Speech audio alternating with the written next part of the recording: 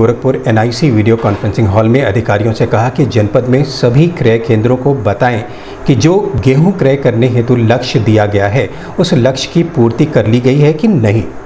अगर लक्ष्य पूर्ति नहीं की गई है तो अविलंब दिए गए लक्ष्य को शत प्रतिशत पूर्ण किया जाए और शासन को अवगत कराया जाए। इस दौरान आरएफसी राममूर्ति पांडे व अन्य संबंधित अधिकारी मौजूद रहे। आज़म आजमगढ़ में सर ग्यारह हज़ार दो सौ मेट्रिक टन गया है? छह हज़ार मेट्रिक टन आजमगढ़ ज़िले में है और पाँच हज़ार दरिया में है है स्पीड धीमी है। लॉकडाउन की वजह से लेबर और टेक्निकल